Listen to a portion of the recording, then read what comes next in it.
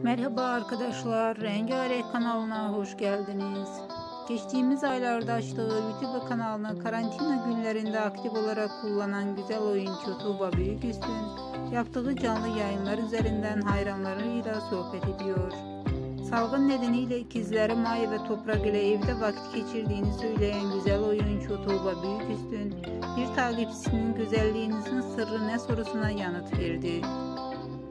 Sadece yüzümü yıkayıp krem sürdüğünü belirten Tuğba Büyüküstün, daha fazlası için çok tembelim diye de ekledi.